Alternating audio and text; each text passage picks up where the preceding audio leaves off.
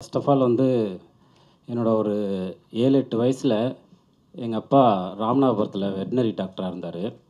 அப்போது அவரை பார்க்க போகும்போது ஒரு நாள் நைட்டு பஸ்ஸு கிடைக்கல ஊருக்கு போகிறதுக்கு எங்கே தங்கறது அப்படிங்கும்போது பஸ் ஸ்டாண்டில் தங்கிடலாம் அப்படிங்கும்போது இல்லை படம் பார்க்க போவோம் அப்படின்னு எங்கள் அப்பா ஃபஸ்ட் டைம் தேட்டருக்கு கூப்பிட்டு போனார். அப்போ அந்த தேட்டரில் பார்த்த படம் வந்து கடலோர கவிதைகள். ஆஹா கிளாசிக் ஒரு ஏழு எட்டு வயசில் ஃபஸ்ட் டைம் தேட்டருக்கு சின்ன பயல போய் கடலோர கடலை கூட்டு போயிருக்கீங்களேன்னு கேக்குறாரு.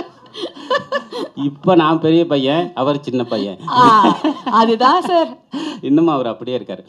ஸோ அந்த படம் வந்து பார்த்தப்போ எனக்கு இருந்த அந்த ஒரு எக்ஸ்பீரியன்ஸ் ஒரு ஏழு எட்டு வயசில் வந்து ஒரு பெரிய ஒரு ஒரு லவ் ஃபிலிமு அப்படி லைஃப்பை பற்றின டக்குன்னு ஒரு எனக்கு தெரிஞ்சு நம்முடைய ஆள் மனசில் ஏதோ ஒன்று பதிஞ்சு நம்மளை வந்து ஒரு ஆர்ட்டுக்கு அழைச்சிட்டு வந்தது அந்த படம் தான் நினைக்கிறேன் ஃபஸ்ட் டைம் ஸோ நான் அதுக்கப்புறம் ஒரு நூறுக்கு மேலே அந்த படத்தை பார்த்துருப்பேன். அதில் ஒவ்வொரு வசனமும் எனக்கு மனப்படம். அது வந்து நம்முடைய லைஃபோட பால்யத்தோட சம்மந்தப்பட்டது என்றைக்குமே ஒரு முதல் காதல் மாதிரி இல்லையா? அந்த மாதிரி.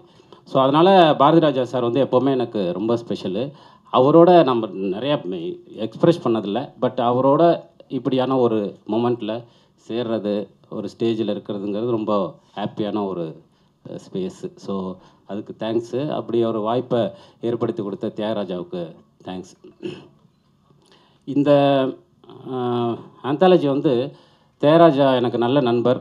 அவர் ஒரு நாள் ஃபோன் பண்ணார். ஃபோன் பண்ணி கொரோனா டைம் அப்போது இந்த மாதிரி ஒரு விஷயம் பண்ணுறோம் அப்படின்னு சொல்லிட்டு. எனக்கு என்ன பண்ணுறாங்க மாடர்ன் லவ்னா என்னன்னு தெரியாது. இப்போ நம்ம பொதுவாகவே கொரோனா டைமில் பயங்கர ஸ்ட்ரெஸ்ஸு அந்த ஸ்பேஸில் இருந்தது. அப்புறம் நமக்கு வந்து பொதுவாகவே எழுத தொடங்கினாலே அரசியல் வந்துடுது மண்டை ஃபுல்லாக வந்து அது ஒரு பெரிய சிக்கலாக மாறிடுச்சு உண்மையிலேயே. அது ஒரு மன சிக்கலாக மாறிடுச்சு. எது பார்த்தாலுமே அதுக்குள்ளே ஒரு அரசியல் பார்க்குறது அது பழகிருச்சுல ரொம்ப நாளாக பழகிடுச்சு ஸோ அந்த ஸ்பேஸ்லேருந்து நானே ஐயோ கொஞ்சம் வெளியில் வரணும் அப்படின்னு யோசித்தப்போ அவர் கரெக்டாக ஃபோன் பண்ணி மாடர்ன் லவ்னு ஒன்று இருக்குது நீங்கள் பாருங்கள் அப்படின்னு. நான் அந்த பார்த்தேன் அந்த ஒரிஜினலு உண்மையிலே செம்மையாக இருந்தது. அது வந்து ஒரு லவ் வந்து எப்போவுமே எப்படின்னா இப்போது சமீபத்தில் விகடனில் வந்து ஒரு கதைக்கு வந்து ஒரு ஓவியம் வந்திருந்தது. அதில் ஓவியம் பொதுவாக மேலே வந்து பேர் போடுவாங்க. அந்த ஓவியர் அப்படின்னு போட்டு ஏஐ அப்படின்னு போட்டிருந்தது. ஏஐன்னு புதுசாக ஒரு ஓவியராக ஆசிஃப் கான் மாதிரி. நல்லா செமையாக இருந்தது அது. ஆசிஃப் கான் ஃபீல்டில் இருந்தது. அப்படின்னு இல்லைப்பா ஆர்டிஃபிஷியல் இன்டெலிஜென்ட் அப்படின்னு. ஐயோ இப்போ ஆர்டிஃபிஷியல் இன்டெலிஜென்ட் ஓவியம் வரைய ஆரம்பிச்சிருச்சு. அதுலேயே பார்த்தா ஒரு கவிதை வந்திருக்கு. கவிதை வந்துருச்சு. இப்போ அமெரிக்காவில் வந்து ரைட்டர்ஸ் அசோசியேஷன்லாம் போராடிட்டு இருக்காங்க. வேண்டாம். நாங்க என்ன பண்ணுவோம்? நாங்கள் என்ன பண்ணுவோம்? அப்படின்னு சொல்லிட்டு நாங்களே ஜாலியாக பேசிகிட்டு இருப்போம். சீக்கிரம் ஒரு ரெண்டு படத்தை எடுத்துட்டு எங்கேயாவது விவசாயம் பண்ணுறதுக்கு போயிடணும். சார். அப்புறம் அப்புறம் எல்லாம் டைரக்டர்ஸ் எல்லாமே ஏஏ வந்துருவாங்க அப்படின்னு. ஸோ வேர்ல்டு வந்து அடுத்தடுத்து போகும்போது எல்லாத்துக்கும் ஒரு ஆல்டர்னேட் வந்துருச்சு. இப்போ ரோபோ வந்து இன்டர்வியூ கொடுக்குது.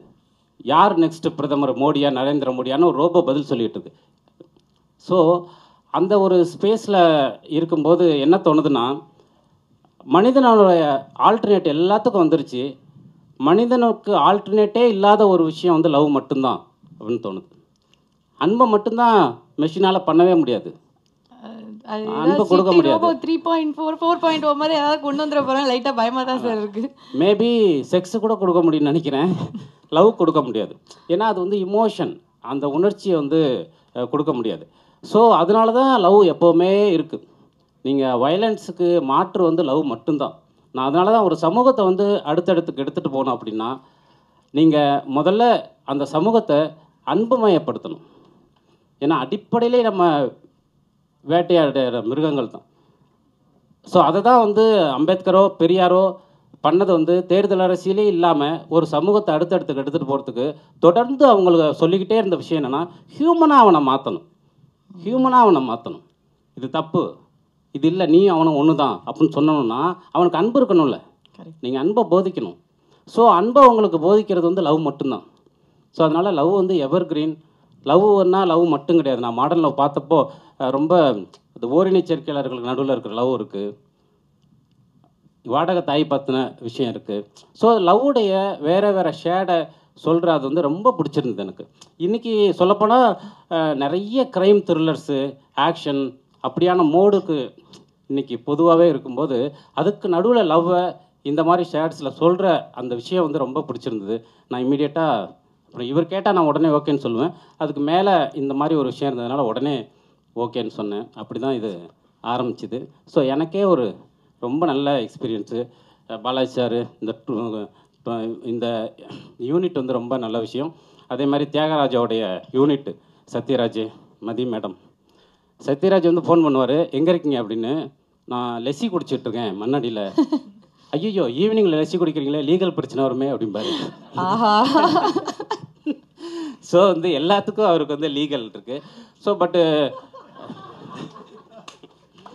ஸோ ரொம்ப நல்ல எக்ஸ்பீரியன்ஸ் இந்த டீமோட ஒர்க் பண்ணது.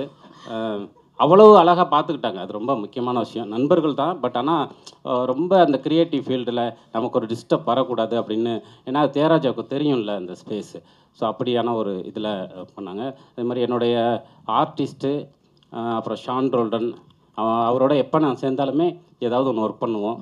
நீரவ் சார். நான் வந்து நீரவ் சார் வந்து பார்த்த உடனே ஒரு துறவி ஃபீல்டில் இருக்காரே. எப்படி ஒர்க் பண்ணுறது இவரோட அப்படின்னு நினச்சேன். பட் ஆனால் அவ்வளோ ஜாலியாக ரொம்ப ஃப்ரெண்ட்லியாக சூப்பரான ஒரு ஆள் நீரோஷா சார் சார். ஸோ நல்ல நான். எங்கேயுமே சொல்லிகிட்டே இருப்பேன் சார். ஆமாம் அப்புறம் அவர் ஒரு லைன் வச்சுருக்காரு. செம்ம லைனு அது நிச்சயமாக நீங்கள் டைரக்ட் பண்ணாக்கா ரொம்ப முக்கியமான ஒரு படமாக வரும். ஒரு சோ சோஷியல் ஸ்பேஸ்லேயே ஸோ இப்படியான நல்ல நண்பர்களையும் நல்ல ஒரு கிரியேஷன் ஸ்பேஸையும் கொடுத்த இந்த லாலாகுண்டா பூமிக்கும் பொம்மைக்கும் அமேசானுக்கும் தியாகராஜா தோழருக்கும் என்னுடைய நன்றிகள். நன்றி.